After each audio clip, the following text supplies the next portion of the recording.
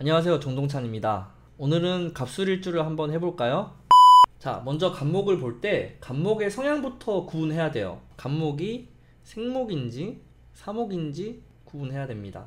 그러면 이 간목의 주변 여건을 봐야 되는데 지금은 일주론을 한 시간이니까 일지에 의해서 1차적인 성향이 구분되겠죠? 술토는 한난조수부로 구분할 때 한하고 조한토예요. 가끔 술 중에 정화가 있으니까 난한토가 아니냐 라고 하시는 분이 계신데 그렇게 따지면은 술월은 양력으로 10월이니까요. 10월이 따뜻해야 되는데 실제로는 점점 서늘해지고 추워지죠. 지장간의 의미를 그렇게 확대 해석하지 않으셔도 괜찮아요. 각설하고 한하고 조한 토이니까 간목이 뭔가 살아서 열매를 맺기는 어렵네요. 그러면은 사목입니다. 간목이 사목이라고 하는 것은 죽은 나무라는 뜻이 아니라 이 간목의 성향이 상징성을 띈다는 거예요. 만약에 생목이 된다면은 생산성을 띠겠죠. 그래서 상징성을 띠게 되면은 정신적 가치를 훨씬 더 중요하게 생각한다는 거고 생목이면 물질적 가치를 중요하게 생각한다는 거예요. 자, 그러면은 여기서 이 사목인 간목이 술토를 보고 목극토를 하고 있고 술토는 편제로 작용을 하고 있어요. 자, 먼저 목극토를 한번 보죠. 자, 어때 보이시나요? 목극토가 잘 될 것 같습니까? 딱 봐도 쉽지 않아 보이죠? 땅이 되게 견고하게 되어 있을 뿐더러 건조하고 차갑고 뿌리 내리기가 어려워 보이죠? 이렇게 그림으로 보여야 돼요. 조한데다가 술 중에 신금도 있고 음, 돌을 내리려고 하다 보니까 안에 막 자잘한 돌멩이들이 있는 거죠. 간목 입장에서도 진토를 훨씬 더 부드럽게 생각하고 쉽게 착근이 되는데 굳이 술토에 뿌리 내리려고 하지는 않겠죠. 여기서 착근이라는 소리는 뿌리를 내린다는 소리예요. 뿌리를 내리기 어려운 상황 때문에 불안정성이 형성돼요. 불안정성. 그래서 움직이려고 해요. 근데 갑술일주는 이런 상황에서 움직이게 되면은 크게 움직여요. 통째로 움직이려는 성향을 얘기하고 있어요. 어, 이것을 예로 들어서 설명하자면은 어, 이를테면은 소풍을 간다.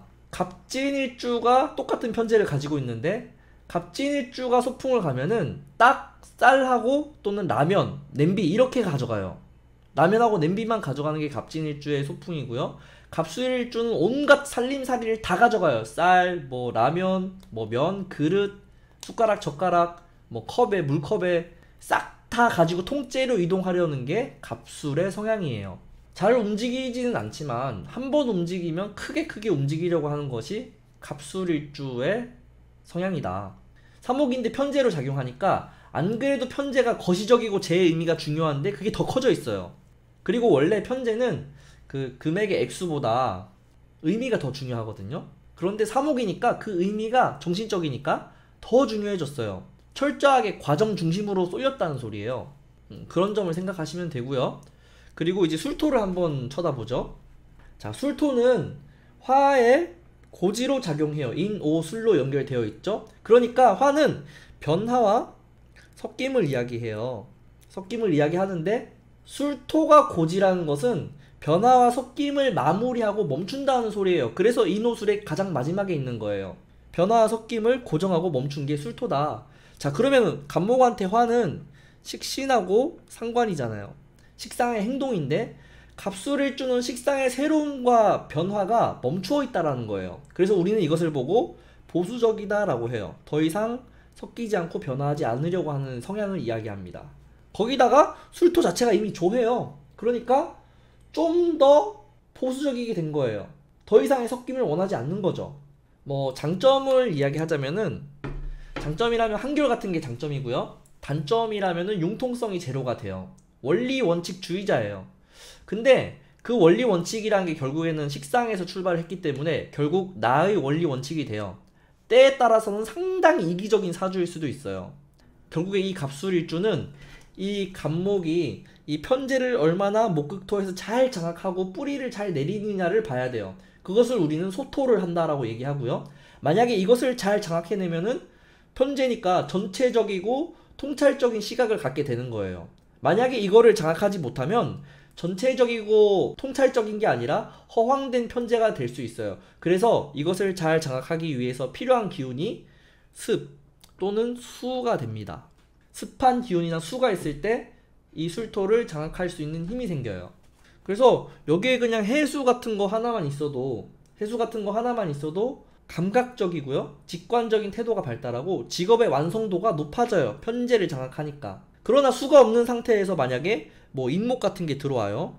그래서 인목이 들어오면 마치 인목도 같이 목극토를 해주고 나의 근기로 쓰니까 어, 술토를 잘 장악할 것 같이 이렇게 생각할 수 있는데 실제로는 얘가 조화단 말이에요. 인목은 조목이기 때문에 오히려 이 술토를 무너뜨릴 수 있어요. 이- 그러면은 간목도 같이 쓰러져요. 무너지고 마치 뭐 부모님이 와서 혹은 가족이 와서 야 나 지금 사업이 잘 안 되니까 조금만 도와줘라 해서 돈을 줬는데 거기에 연대 보증이 묶여서 같이 무너지는 형국이 되죠. 밀면 쓰러진다는 소리예요. 그래서 조한 것은 별로 도움되지 않아요. 오히려 피해를 입히게 돼요.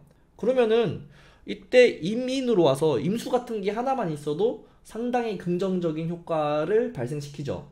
만약에 묘가 오면은 묘는 습한 목이니까 묘술 합으로 해서 이렇게 조- 도와줄 것 같죠? 도와는 줘요. 그런데 결국 합을 해서 이 편제를 묘목이 장악한다는 데 있어요.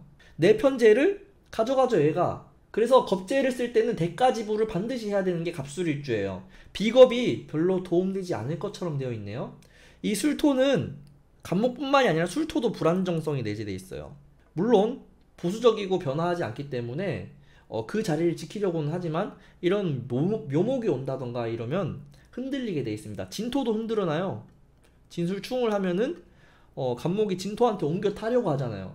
갑술일주 남자분들은 묘목운이나 진토운을 조심하셔야 돼요. 왜? 가만히 있는 술토를 쥐고 흔들어 버리거든요. 내 와이프가 당연히 바람 피는 성향이 아닌데 어, 술토나 진토에 의해서 흔들릴 수 있어요. 흔들리면 안 되는데 그게 뭐 사람 마음대로 되는 것도 아니고요. 그래서 내 재를 뺏어가는 역할을 하기도 한다. 묘목이 이렇게 보시면 되겠습니다. 갑술일주를 간단하게 정리하면요. 음, 보수적이고요. 기존의 틀을 유지하려고 해요. 바뀌는 것을 싫어하고요. 아주 까다롭고 불안정성이 의외로 내재되어 있습니다. 어, 자기의 재 또는 자기의 공간, 자기가 해놓은 것을 조절하기가 쉽지가 않고요. 이게 장악만 잘 돼 있으면은 전체적이고 통찰적인 시각을 아주 잘 발휘한다. 그리고 동료들이 기본적으로 도움되지 않는다. 겁재니까요. 만약에 도움을 받으면은 더 큰 대가를 지불해야 된다. 천간으로는 화가 있으면 좋고 지지로는 수가 있으면 좋습니다. 그러면은 자격이라는 수를 이용해서 환경이라는 편제를 이용한 프리랜서 같은 직업에 잘 맞아요. 혹은 재를 다루는 직업에 맞으니까 뭐 금융계통에서 일할 수 있어요. 은행이라던가. 아주 큰 편제니까 어, 은행에 잘 맞죠. 숫자가 뭐 거기는 돈이 아니라 숫자로 존재하니까요. 수를 이용해서 재를 만들어내기 때문에요. 크게 무리하지 않는 것 또한 긍정적이라고 할 수 있어요.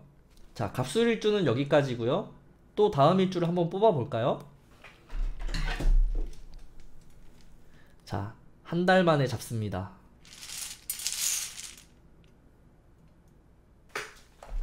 자, 다음 일주는요. 자, 다음 일주는 갑신일주로 찾아뵙도록 하겠습니다. 감사합니다.